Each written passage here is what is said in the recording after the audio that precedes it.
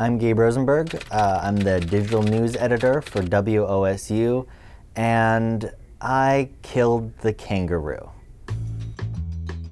Not a real kangaroo, just a, a sign of a kangaroo. Let me explain. Someone asked WOSU why there is a sign with a kangaroo crossing on it in Clintonville. I asked Curious Cbus, what's up with the kangaroo sign? She'd passed it almost every day to work, but never knew why it was there.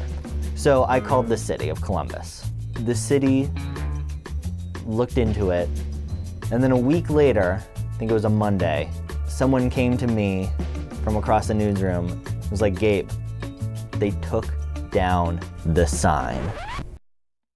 Gabe called me. I was at work, and he said, I just wanted to let you know. And I had this sinking feeling like, oh no, it's what we didn't want to have happen. The sign is being taken down. And so the entire neighborhood of Clintonville was in a rage over this sign. They had no idea why it got taken down. And I immediately logged into Facebook, logged onto social media to see what was happening. And just really felt initially like, oh no, the villagers are going to come for me with pitchforks.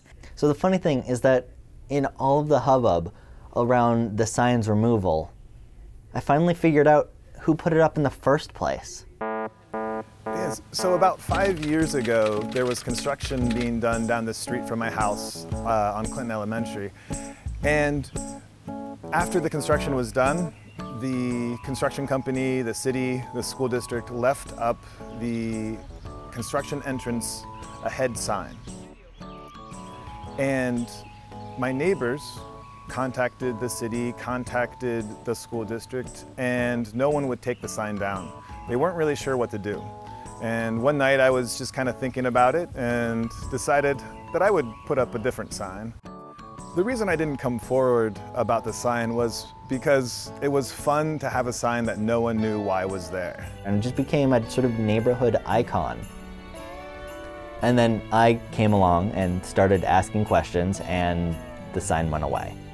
So things kind of snowballed from there. Save the Roo. This is where the kangaroo sign used to stand. Now kangaroo signs are popping up all around Clintonville.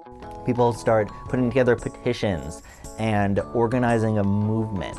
Each day there would be an article in the newspaper, an article online, uh, made it to NPR Morning Edition. I think if you Google Clintonville kangaroo or just hashtag save the roo, there are at least two to three pages of Google searches dedicated to this happening. They even started a change.org petition to get the kangaroo as the official mascot of Clintonville.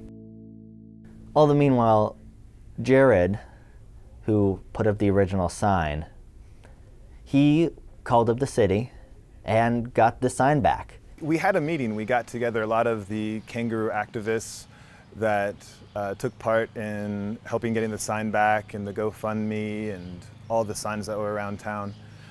And we also met with our CAC rep, and she had been in negotiations with the principal at Clinton Elementary to get the sign put there.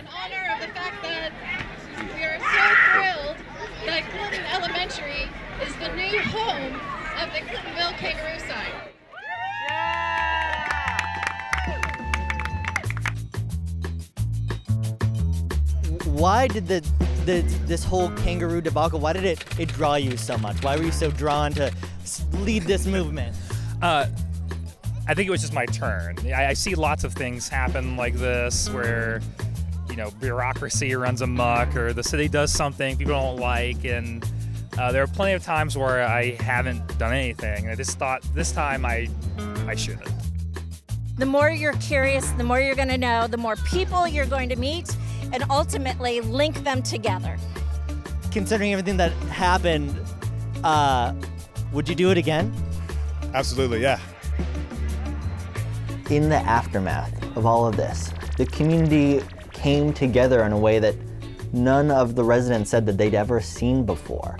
That never before had people sort of rallied around something with small businesses and neighbors coming together and protesting and finding a way around and battling the small community against the government and found a peaceful, civically engaged way to resolve it.